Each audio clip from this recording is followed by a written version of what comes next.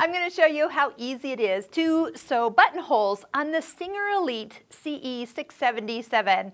And this is just one of our blocks from our Stitching Cosmos online course. So if you want to learn more about your decorative stitches and do fun things with other accessory feet, this is a course that you can check out. There's free videos that you can preview for free, see if the course is right for you. There's links below in the description.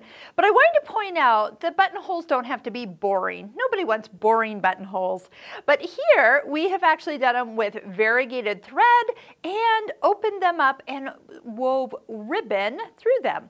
So I love that this course allows you to just work on a simple block and then each block has a different technique and when you put them all together, the blocks all hook up and kind of create a fun art quilt. So as we start to explore, just know that buttonholes can be used in more than just garments. Plus, on this machine, you have a standard buttonhole right here at stitch zero, right here on the button. But then if you open up this part down here, you have buttonholes 12 through 17, plus mending stitches, plus bar tacks, so you have a lot more. Once you know how to do one buttonhole, you can do all these different styles, find the one that you like the best, and go from there.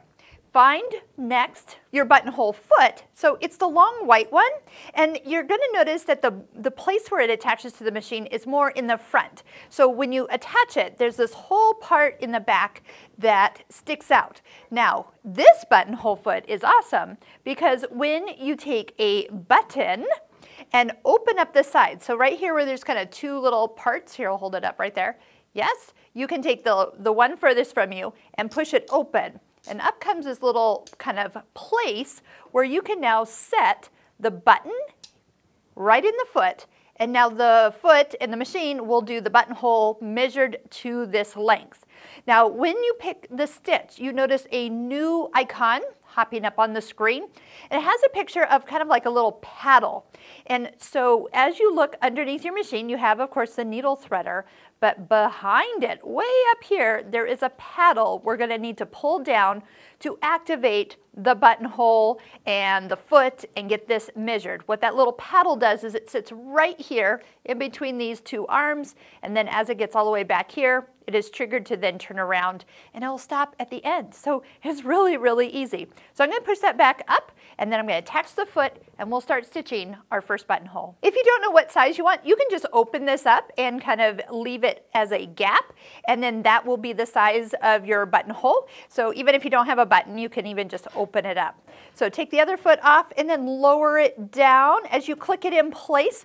One thing that you're going to notice is what to do with this extra thread. Some people like to thread it down through the foot, but it, I'll tell you a little trick. If you just do one buttonhole, when you're done, that thread will get dragged underneath the foot for you. So watch what I'm going to do next. Do keep in mind that these buttonholes are going to stitch this way. So make sure your first one isn't starting next to the edge of the fabric because you're going to run out of real estate really, really fast. The other thing that will make your buttonholes turn out nice and smooth is some form of stabilizer. Usually with a garment, you have interfaced the fabric where buttonholes are placed. But for right now, if you can put some stabilizer, a tearaway stabilizer underneath your fabric, you're gonna get a better looking buttonhole. When you're ready to start stitching, make sure that you've pulled down the buttonhole paddle that I showed you, and it needs to sit behind that little arm. Hold the thread off to the side, and if you wanna use the start stop button, you can touch and hold it, and it'll stitch the whole buttonhole from start to finish without even stopping. So I can go ahead if I want, I can trim off this little thread, which sometimes I'll do on my first one, and then I can just go ahead and start it again. So it's gonna go ahead and do the satin stitch up the left side, come back down, do the tack at the bottom, and then stitch all the way to the other end, finishing with the tack at the top, couple locking stitches, and as soon as you lift up this foot, the buttonhole foot resets. This is where the thread goes down underneath that foot, and we have the first perfect buttonhole. So if I want to do this again, I just need to know where I want that buttonhole to start. Sometimes I will have marked my fabric so I can sink my needle right into the exact spot so they're nice and even. But once you go ahead and lower that down, Push the start stop button if you like that and go ahead and stitch as many buttonholes as you want. You'll get the same size over and over and over.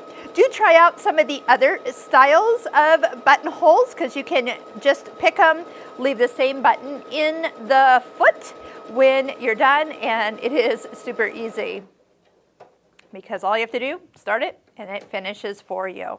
Now here's a little trick I like to tell my students is usually once now that I understand how buttonholes are made is what I'm going to do is keep a button in my foot when I store this away. You know why?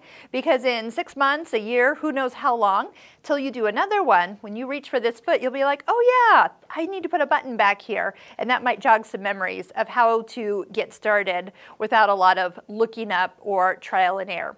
Now, next, we're gonna actually use a button sew-on foot and a built-in stitch to actually sew the button onto the fabric with the button sew-on foot. If you're looking for more videos on how to use your Singer sewing machine, check out all the ones that we have done. We've got a playlist right here at the end so you can start right back at the beginning. Remember, most Singer sewing machines do all work about the same and you'll find stitches and feet that are similar from model to model. Happy sewing!